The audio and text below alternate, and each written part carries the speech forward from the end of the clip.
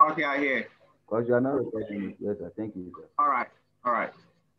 Sir, please, can you go over what you just said? The, clarifi- the clarification you made. Okay, so you let me restart everything because I'm now even recording.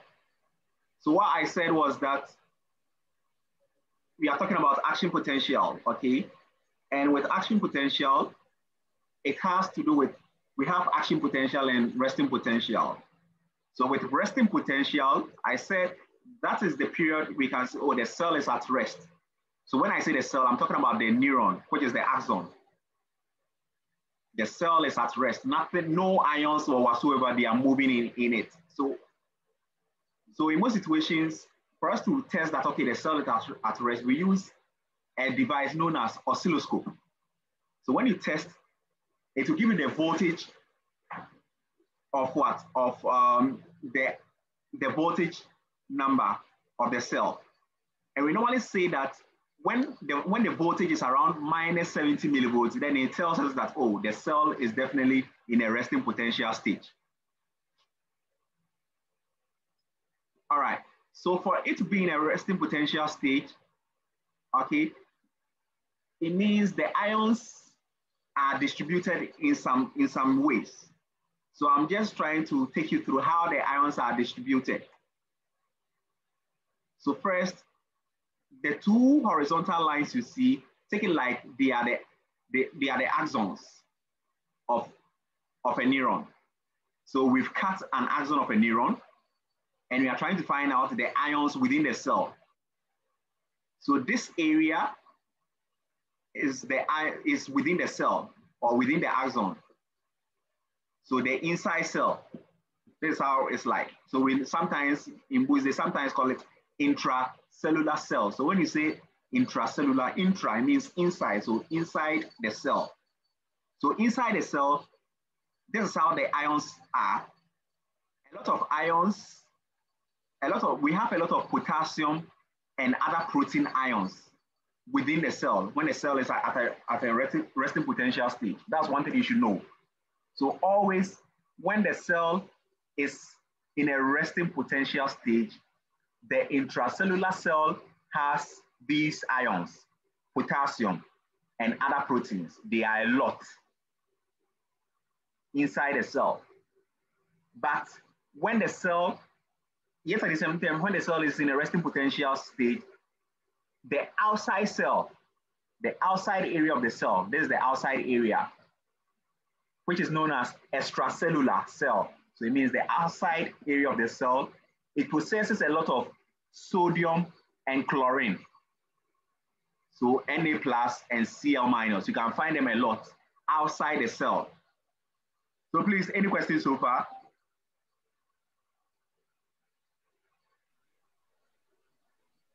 Yes, sir. Um, Godwin, your hand is up. Zoom just alerted me. You have Okay, sir. minutes. So when it cuts, please join again. Okay, sir. Please, um, a little bit confused with your explanation. I would like you to bring it to practical terms because these cells and then the, the terminologies you are using, I hope they are related to we human beings. So I'm wondering at what point can we say that uh, uh, resting potential or yeah, something of that sort has occurred in a practical term? Because practical the terms, neurons- okay, okay, I, I yeah, totally get because, you. because the neurons, yeah, they, they, trans, they, they transmit uh, or they communicate within the body. It means Yeah. they go up and down. Yeah, Uh-huh. So at what point can we say that uh, resting potential has occurred? okay, okay. I totally, I totally get, get where you're coming from. So let's say, um, think like you're moving, okay? For you to have any sort of movement, it means that there's an action, an action potential taking place. Your cells are, are active, your neurons are active, they are moving, right? But in situations whereby maybe you lie still, nothing is moving, then it means there is an aspect within the area of your brain which is not what active. Your motor neuron, your motor, um, yes, a portion of your frontal lobe responsible for motor activities. It is not moving. So it means it is in a resting potential stage. So when it is in a resting potential stage, we are just trying to find out how the ions distribution are, how, how they are. You know, from the beginning, I said whatever um, tissue we form, it is based on a cell. And I told you we have two main types of cell. Either it is a neuron or a glial cell.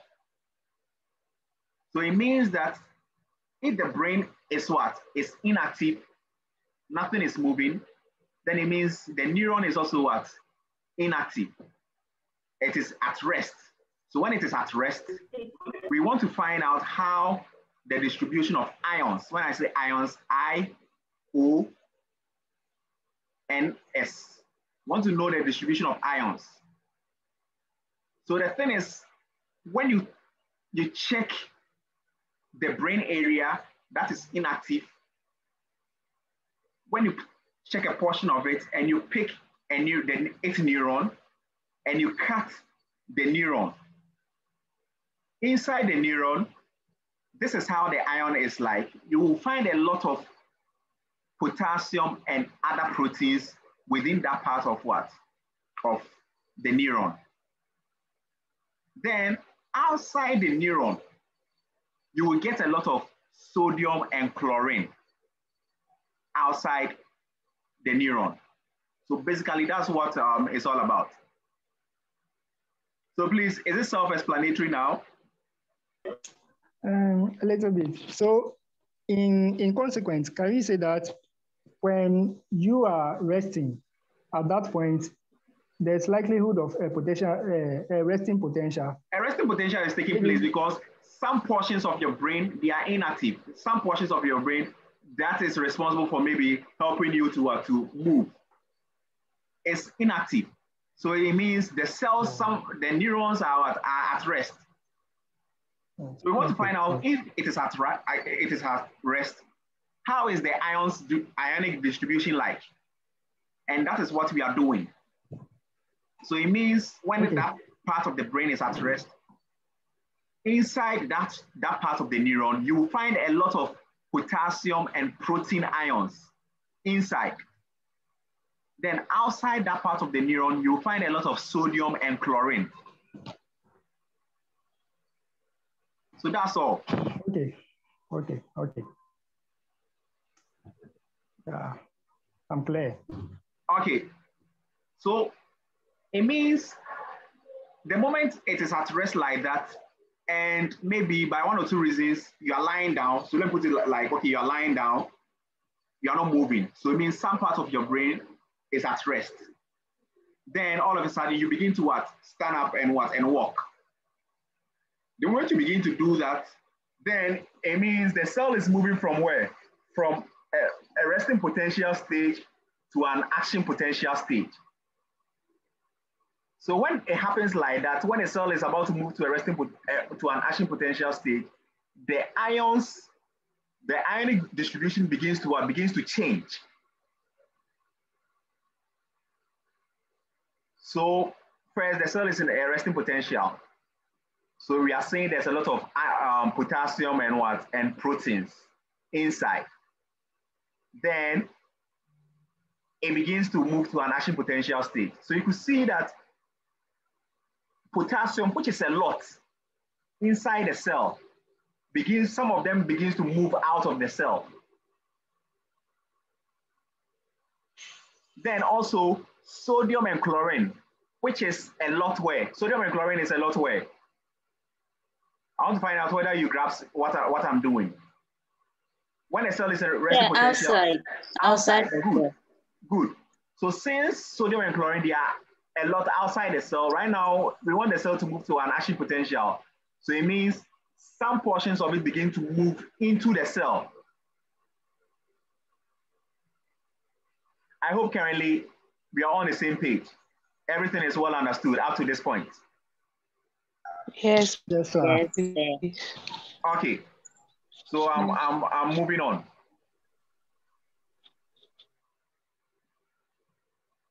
So that's what happens when action potential takes place. It means some of these ions, which is inside, move out. Then some of the ions, which is out, outside, also move into the cell. So in all, for action potential to happen, two things are involved. Two main key things are involved. And they are diffusion.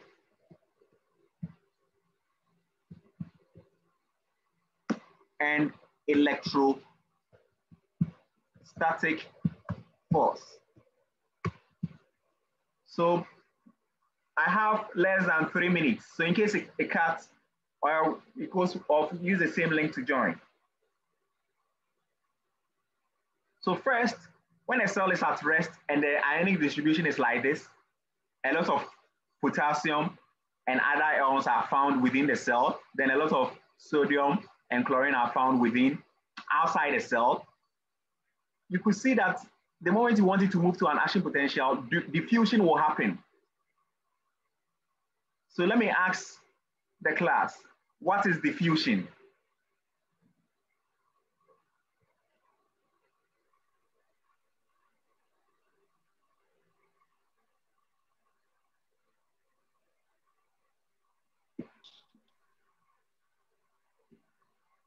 So please, in case you want to answer, you can just use the emoji to raise up your hand.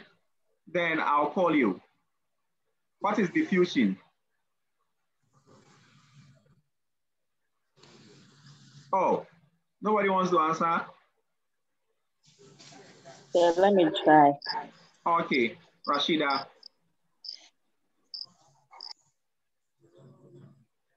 Rashida, go ahead. Oh, you, you kindly unmute yourself and speak. You're still on mute. I, I want to try. Okay. Diffusion happens when um, the, the, there's going to be an action potential. Yeah? When the um, sodium moves from extracellular to okay. intracellular, it changes. Okay. So what, what, what will make sodium move to extracellular to intracellular? You're perfectly right. But I want a, a general definition for diffusion. Esther Sapon, your hand is up. Okay. Diffusion is the movement of anything from a region of higher concentration to a region of lower concentration. Good, good. So you are, you are, you are right. So as Rashida rightly said, also, you know, sodium, they are a lot where? I say sodium, they are a lot out at the outside cell, which is the extracellular. But